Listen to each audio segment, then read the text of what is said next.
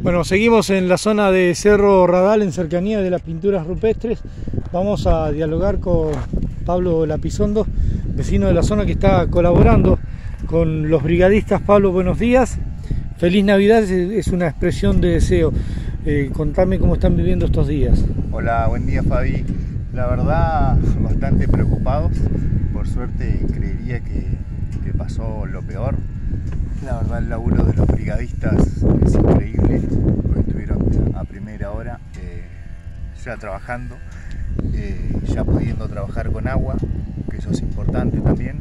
Y bueno, los medios aéreos la verdad que ayudaron un montón. Pero la verdad preocupado, angustiado, eh, con temor de lo que pasó el año pasado y bueno, se repite este año. Bueno, colaborando no solo con insumos, herramientas, vemos que esta picada la hicieron y es ideal para combatir, sino también, bueno, habilitaste el acceso a que puedan sacar agua de la laguna, ¿no?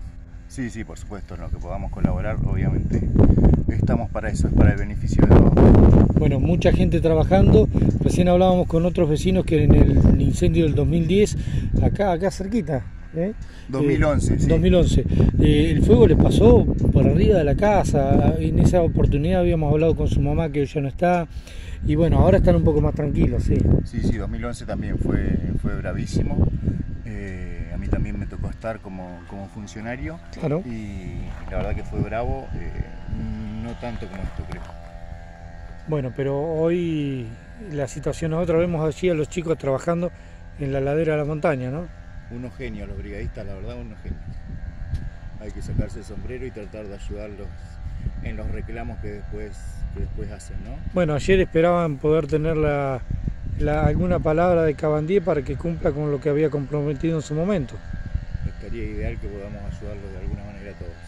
Bueno, Pablo, muchísimas gracias. Te dejo seguir trabajando, nosotros también, haciendo imágenes desde el lugar. Chao, chao.